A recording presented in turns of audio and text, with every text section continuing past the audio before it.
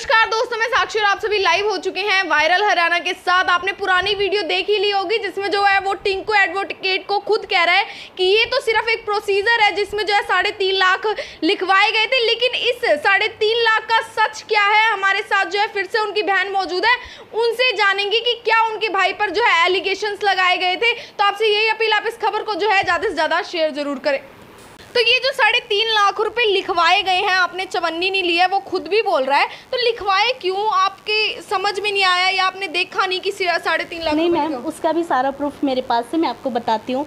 Actually में क्या किया जैसा कि हमारी बात चली रही थी कि टिंकू एक सेक्स वर्कर लड़की को हायर करके लेके आया पच्चीस हज़ार रुपये में इसने ख़रीदा और ख़रीदने के बाद इसने अपने घर पे उसको एक डेढ़ महीना रखा। और रखने के बाद इसने मेरे भाई का कॉन्टैक्ट नंबर उस लड़की को दे और मेरे भाई को मैसेजेस करवाने शुरू किए। बहुत ही अश्लील वीडियोस भेजना मैसेजेस करने और मेरे भाई का हमेशा यही रिप्लाई होता था कि आप कौन है, मैं आपको नहीं जानता। तो धीरे धीरे वो लड़की बोली, मैं आपसे मिलना चाहती हूँ। 24 अगस्त 2020 को उस लड़की, क्योंकि टिंकू तो प्री प्लान करके उस लड़की के साथ सब कर रहा था ना 24 तो आप जो इस टाइम लाइव स्क्रीन पर देख पा रहे हैं कि उस लड़की के द्वारा जो बताया जा रहा है कि सेक्स वर्कर है, उसके द्वारा जो है इनके भाई को मैसेज किए जाते हैं कि देख पा रहे हैं, मुझे आपका नंबर फेसबुक पर मिला है। तो इनका भाई कहता है मतलब कुछ नहीं, दोस्त के वाक्य बात कर सकते हो और नहीं मैं है, कोई बात नहीं। मतलब अगर बात कर सकते हो, दोस्त से तो कर लो। तो इन्होंने पूछा, कहाँ रहते हो आप? उसके बाद बोला, मैं रहता है जी, और एक दोस्त के नाते आप हमसे बात कर सकते हो। तो ऐसे वो लड़की जो है, इनको मैसेज भेज रही है, लेकिन इनके भाई के द्वारा लगातार यही रिप्लाई जा रहे हैं कि, आप कौन हैं?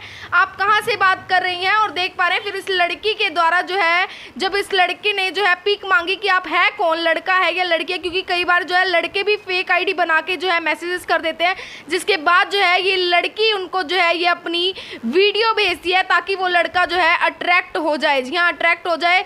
जिसके बाद आप देख पा रहे हैं, लाइव तस्वीरों में अगर देखें तो इनको जो है काफ़ी ज़्यादा जो है अश्लील भरे एमोजेस भी भेजे जा रहे हैं लेकिन लड़का अभी तक यही कह रहा है कि क्या हुआ कहाँ से मैसेज भेज रही हो कौन हो आप? देख पा रहे हैं कि लव यू लव यू के भी जो है इनके द्वारा लड़की के द्वारा मैसेज भेजे जा रहे हैं। मतलब एक तरह से जो है उस लड़के को झांसे में फंसाने का जो है पूरा प्लान किया जा रहा है। तो वो लड़की कर क्यों रही है और वो लड़के आपके भाई को जानती वो लड़की मेरे भाई को वो लड़की नहीं जानती थी क्योंकि टिंकू उसको एक प्री प्लान करके लेकर आया था।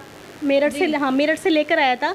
24 अगस्त की रात को उस लड़की ने जो क्या है एक मेरे भाई से जो है बीस हज़ार रुपये की डिमांड की। तो मेरे भाई ये लड़की है और ये जो है इनको यहाँ पर वीडियो भेजती है मतलब इनके भाई को। देख पा रहे हैं कि ये वीडियो भेजती है यहाँ पर।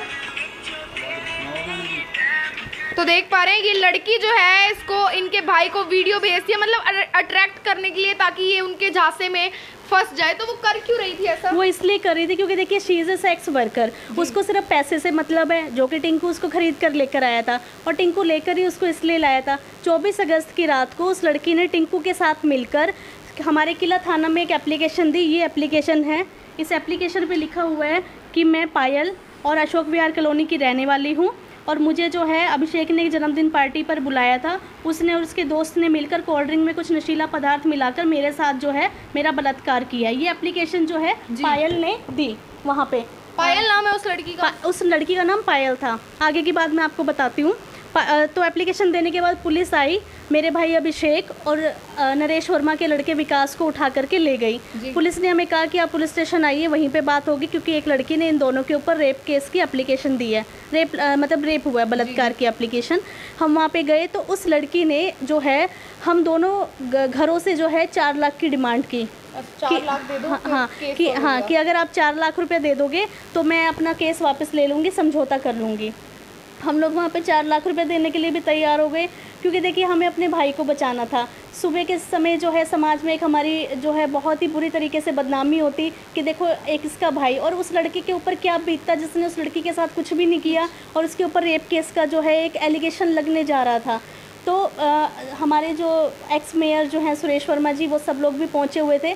तब टिंकू आया और कैमरे में भी रिकॉर्ड हुआ है ये सब। टिंकू ने सब लोगों के बीच में ये चीज़ एक्सेप्ट की और उस लड़की का हाथ पकड़ के पुलिस स्टेशन से ले गया। रात को 24 अगस्त में रात को ढाई बजे की ये बात है। उसने कहा कि ये सब मैंने करवाया है और मैं, ये लड़की ने मेरे कहने से ये सब कुछ किया है। पच्चीस हज़ार रुपये में मैं इस लड़की को मेरठ से ख़रीद कर लेकर आया था। ये लड़की तभी अपने सारे आ, तुम इस चीज़ पे समझौता करेगी या फिर कहेगी कि मेरे साथ ऐसा कुछ नहीं हुआ। नेहा जो है मेरी तीन डिमांड को पूरा करे। पहली जो है मुझे तलाक दे। दूसरा जो है 498 का जो केस नेहा ने इसके ऊपर लगाया था वो वापस ले और मेरा बच्चा मुझे वापस दे। हम पूरी रात बड़े परेशान होते रहे कि देखिए उस समय हमारे घर में एक ऐसा माहौल बना हुआ था कि अगर हम अपने भाई को बचाएँ तो नेहा के बेटा। चला जाएगा। अगर नेहा के बेटे को बचाने की जिद करे तो मेरे पले पलाए भाई के ऊपर एक बहुत बुरी बदनामी का ठप्पा लगने वाला था कि इसने रेप किया है। फाइनली जो है, मेयर साहब के यहाँ पे पंचायत हुई और पंचायत में जो है, हमने कहा कि चलिए ठीक है, नेहा जो है, तुम्हारी तीनों जो मांगे पूरी करने के लिए तैयार है। अब मैं आपको बताती हूँ कि एक एक सितंबर 2020 को उस लड़की ने एक एफ़, एक एफिडेविट उस लड़की की तरफ़ से बनवाया गया, जिसमें ये लिखा था कि मेरे ऊपर ऐसा कोई भी, इन लड़कों ने मेरे साथ ऐसा कुछ नहीं किया। मैंने किसी के बहकावे में आके कर दिया था। और एक सितंबर 2020 को ही टिंकू ने एक तलाक का पेपर बनवाया, जिसमें उस नेहा मतलब ये जब, ये सब चीज़ें हमारी बिना मर्ज़ी के लिखी गई कि नेहा ने साढ़े तीन लाख रुपए लिया है और नेहा अपना बच्चा देना चाहती है क्योंकि ये बच्चे को पालने के लिए सैम मतलब इस, इसकी इतनी कैपेसिटी नहीं है कि ये बच्चे को पाले। मैम आप ये देखिए ये पहले जो है नेहा ने ये आप एक सितंबर 2020 ये देखिए एक सितंबर 2020 लिखा हुआ है और ये नेहा और टिंकू के तलाक के एफिडेविट पे पहले टिंकू ने साइन करवाए नेहा से।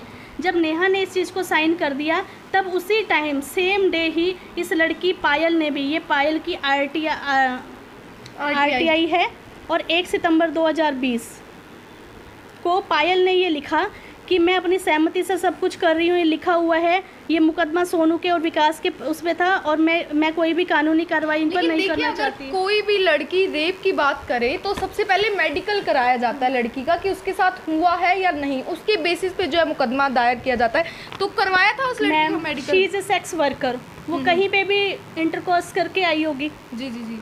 और जाके अगर वो कराएगी सेम डे तो आएगा तो है ही ना कि वो किसी उसने किसी के साथ इंटरकोर्स किया है। अच्छा।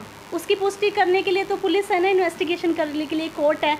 जब पुलिस ने इन्वेस्टिगेशन की एक रेप केस एक लड़की ने लगाया और उसके पुलिस ने जाँच की जाँच के आधारों पे पता लगा कि लड़की जो है और ये देखिए इन्होंने इतनी प्री प्लानिंग की इस लड़की का नाम शहजादी था ये मेरठ से ख़रीदी हुई थी और इन्होंने जो है आठ 28 अगस्त 2020 को इस लड़की का जो है आधार कार्ड जो है चेंज कराया, शहजादी के नाम पे पायल कराया।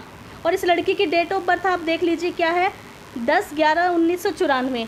और यहाँ पे देख लीजिए, कब, जब भी कोई चेंजेस होता है तो वो आधार कार्ड में डाउनलोडेड डेट भी आ जाती है। ये चीज़, ये प्रूफ हमें खुद रामदास त्यागी ने दिए थे। कि ये जो है लड़की जो है मेरठ से खरीदी हुई जो है रिलीजन से जो है मोमडन है हिंदू नहीं है। तो क्या वो केस वापस ले लिया गया था फिर? नहीं मैम वो केस वापस नहीं लिया। पुलिस इन्वेस्टिगेशन हुई है। पुलिस इन्वेस्टिगेशन पे पता लगा है कि टिंकू एक बहुत बड़ा आरोपी है। उसने जो क्या है वो देह व्यापार का उसका काम है। और मैम उसका यही काम है। वो कहता है ना कि मैं बच्चे को अच्छी परवरिश दूँगा। आप ये बताइए, जो आदमी बिज़नेस नहीं कर रहा, जो जॉब नहीं कर रहा, वो गाड़ी घोड़े लेके दौड़ रहा है, वो किस बिहाफ पे? उसका मैम उसका, शेरू का और गोलू का, इन तीनों का यही काम है। अब इसमें रामदास त्यागी त्यागी जो है, वो भी इन्वॉल्व हो गए इनका यही काम है, दे व्यापार करना, करवाना लड़कियों से, लड़कियाँ सप्लाई करना, सट्टेबाजी करना और जो दूसरा है, लड़कियों को जो है रेप केस में लड़कों को फंसा के ब्लैकमेल करना। तो पुलिस ने जब इन्वेस्टिगेशन की तो सारा का सारा इन लोगों का भांडा बोर्ड फोड़ हुआ और उसमें जो है फिर इनके ऊपर ब्लैकमेलिंग और हरी ट्रैप लगा। जी। हाँ जी।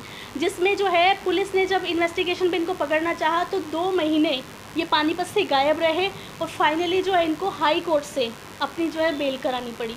जी। हाँ जी। बेल हो गई है। कैसे हो गई? मतलब आपके पास इतने सारे सबूत हैं उनके पास बिना किसी सबूत के भी बेल हो गई? मैम देखिए बिना किसी सबूत के नहीं सेशन कोर्ट से तो जो है उनकी बेल हुई नहीं थी लेकिन हाई कोर्ट में जाकर उन्होंने अपनी बेल करा ली है। एक दो बार तो बेल डिसमिस हुई फिर दोबारा उन्होंने दो दो बार जो है दोबारा से बेल लगाई है। तो दूसरी बारी में उनकी बेल हो गई है लेकिन उसमें भी अभी जो है हाई कोर्ट ने ये बोला है कि सेशन कोर्ट अब इस चीज़ को देखेगा। तो कोर्ट कोर्ट में यहाँ पे डेट जो है डेट में जाते हैं। पहली डेट में क्या हुआ वो लड़की जो पायल जो बनी हुई है, शहजादी उर्फ़ पायल है, वो पहली डेट में नहीं आई। अब टिंकू ने ये देखा कि भाई, अगर हर डेट में उस सेक्स वर्कर लड़की को लेकर आएगा, उसके ऊपर खर्चा करेगा तो इससे अच्छा तो वो नेहा कोई बहला फुसला ले। Neha H D F C bank में लगी हुई थी। इसको इस तरीके से इसने मोटिवेट किया कि नेहा, मैं आज के बाद ऐसा कुछ नहीं करूँगा। तुम्हारा जो घर बसा लो मेरे साथ फाइनली नेहा उसके साथ चली गई। और अभी जो ये मेरे ऊपर एलिगेशन लगा रहे हैं, हमारा नौ महीने से नेहा के साथ कोई कांटेक्ट नहीं था। मुझे पुलिस वालों ने कॉल किया कि नेहा के साथ जो है मारपिटाई की है, आप आ जाइए। जब पुलिस वालों का मेरे पास फ़ोन आया, तब मैं आई हूँ। और ये सब हमारे ऊपर झूठे आरोप लगे हुए हैं। मैं तो बस यही कहती हूँ कि देखिए, पुलिस स्टेशन के अंदर से एक प्री प्लान करके उन तीनों जनों ने बच्चा उठा के टिंकू को दिया है। मैं सरकार से, प्रशासन ने हमारा बहुत सहयोग किया इन्वेस्टिगेशन करने पे। प्रशासन के ऊपर बिल्कुल झूठे एलिगेशन सब ये लोग लगा रहे हैं कि प्रशासन इनका साथ दे रहा है। प्रशासन ना हमारा साथ दे रहा है, प्रशासन ना उनका साथ दे रहा है। प्रशासन जो है सिर्फ़ सच्चाई का साथ दे रहा है, प्रशासन सबूतों के बिहाफ पे जो निकल के आया उसका साथ दे रहा है। ये हमारे माननीय गृह मंत्री श्री अनिल विज से बोल रहे हैं कि इन्वेस्टिगेशन कराई जाए। मेरी भी अगर आवाज़ उन तक पहुँच रही है तो मैं भी कहना चाहती हूँ कि इन्वेस्टिगेशन हो, सच का सच और झूठ का झूठ सामने आएगा। ये वर्बली आप लोगों के सामने बैठा था। मैं विद प्रूफ एक एक प्रूफ इसके अगेंस्ट है। मैं आपके सामने बैठी हूँ। मेरी बहन के साथ बहुत गलत हुआ है। इसका बच्चा छीना है। कोई माँ उससे पूछ के देखे कि एक माँ का बीस दिनों से क्या हाल है। इस पिछली वीडियो पे लोग इतने गंदे गंदे कमेंट्स उस माँ को डाल रहे हैं। क्या एक बार समाज ये देखेगा कि एक माँ से उसका बच्चा छीन के ले जाया गया तो उस माँ के साथ क्या बीत रही है? क्या समाज ये देखेगा? क्या कोई भी सामाजिक आदमी अपने ससुर को इतनी गंदी गंदी गालियाँ देगा? अपनी बे, अपनी वाइफ को इतनी गंदी गंदी गालियाँ देगा? अगर ये खुश होती, ये तो अपना पूरा परिवार छोड़कर चली गई थी, ये खुश होती तो ये वापस क्यों आती? और ये वापस नहीं आई? इसको पुलिस ने कहा कि अपनी फैमिली में चले जाओ। तब डरते डरते जो है इसने मेरे पास फ़ोन कराया क्योंकि पापा के पास तो फ़ोन कराने की फिर भी हिम्मत नहीं पड़ी। अगर हम अब भी इंसानियत के नाते इसका साथ नहीं देते तो इसका सेकेंड ऑप्शन मुझे बताइए क्या होता? सिर्फ़ सुसाइड होता और कुछ नहीं होता। तो इंसानियत के नाते वो मेरे ऊपर इतने एलिगेशन लगा रहा है कि एक महीने से मैं इसके साथ बात करती थी। वो पुलिस का काम है इन्वेस्टिगेशन करना। वो कोई मेरे ऊपर चौधरी नहीं छुटा हुआ कि हाँ वो मेरी इन्वेस्टिगेशन कराएगा। वो पुलिस देखे कि मैं एक महीने से उससे बात कर रही थी या नहीं कर रही थी। मैंने सिर्फ़ एक इंसानियत निभाई है I am a good social worker मैंने एक इंसानियत निभाई है कि अगर एक लड़की के साथ कल गलत हो रहा है, कल को मरने से अच्छा है कि उसको इंसाफ मिलना चाहिए। बस। तो हमने आपको रिकॉर्डिंग्स भी सुनाई हैं और कई रिकॉर्डिंग्स भी सुनाई हैं और कई रिकॉर्डिंग्स तो ऐसी है जो हम आपको सुना भी नहीं सकते। मतलब अपने इन लड़की के पिता मतलब अपने ससुर जी को जो है वो इतनी ज़्यादा गंदी गालियाँ दे रहा है और ससुर जी यही कह रहे हैं, ठीक है ठीक है वरना अगर वो उनसे इतना ज़्यादा छोटा है तो वो भी उसको कुछ कह सकते थे। लेकिन पेशेंस रख के वो इनके जो पिताजी हैं, वो उनको यही कह रहे हैं, ठीक है ठीक है, लेकिन लगातार जो है उस युवक के द्वारा इनके पिताजी को काफ़ी गंदी गालियाँ निकाली जा रही हैं। इनके बड़े भाई को काफ़ी ज़्यादा गंदी गालियाँ निकाली जा रही है और इनको भी जो है काफ़ी गंदी जो काफ़ी गंदी गालियाँ निकाली जा रही हैं। आपको कितना सही लगता है? आपने पहली भी वीडियो देखी है, जिसमें जो है वो युवक के द्वारा गंभीर आरोप लगाए गए थे, लेकिन सिर्फ़ वो आरोप थे क्योंकि उनके पास कोई प्रूफ नहीं था किसी भी चीज़ का। लेकिन विद प्रूफ जो है आज ये दोनों महिलाएँ जो है आपके साथ जो है लाइव तस्वीरों में जुड़ी। आपसे यही अपील, आप इस खबर को, जैसे आपने उस खबर को शेयर किया था, और उन लोगों ने जो है अभी तक जो है इनकी सच्चाई के बारे में जो वो झूठे आरोप लगा रहा था, वो जाने थे। लेकिन आप इस वीडियो को ज़्यादा से ज़्यादा शेयर ज़रूर करें, ताकि जो इनकी आवाज़ है, वो भी ज़्यादातर लोगों तक पहुँच सके और लोगों को जो है सच्चाई पता चल सके। आपसे ये अपील, आप इस खबर को जो है ज़्यादा से ज़्यादा शेयर ज़रूर करें।